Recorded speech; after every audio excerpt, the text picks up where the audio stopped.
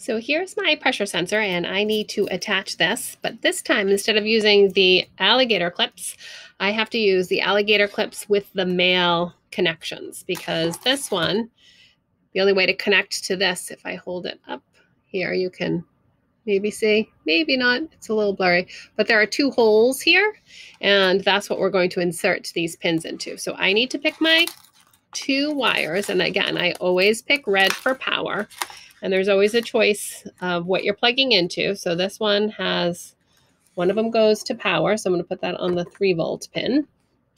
And then I'm going to take the other end, that male pin, and I'm going to plug it into the pressure sensor. Now this, there is no, it doesn't make a difference which side you plug it into. So sometimes it does matter.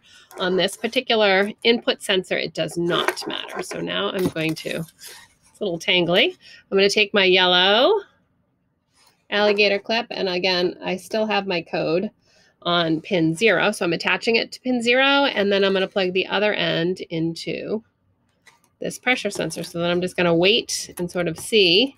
It's sort of floating in the air. So I'm just going to maybe tape it down. I'm going to use some of my tape that I have commandeered because obviously it's not going to get, it's never going to be floating in the air like that. At least I hope it won't be. So I'm just going to tape this down.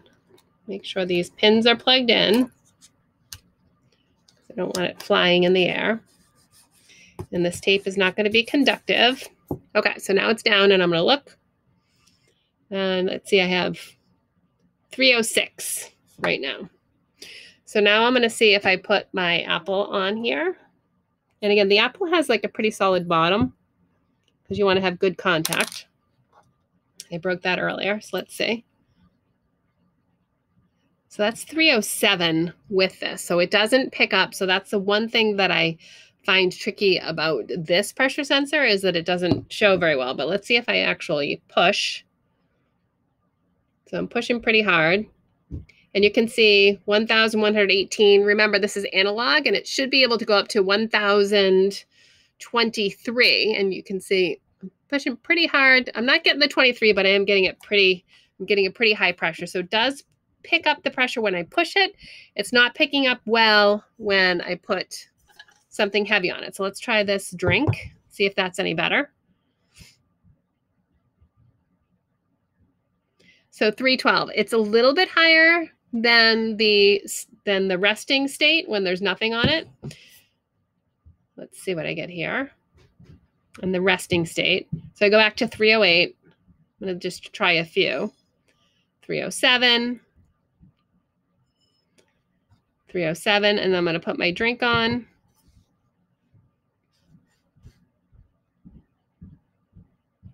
And it goes up to 312. I got 311 before. So that was 310. So it does work but it's only a slight difference. So this one is trickier.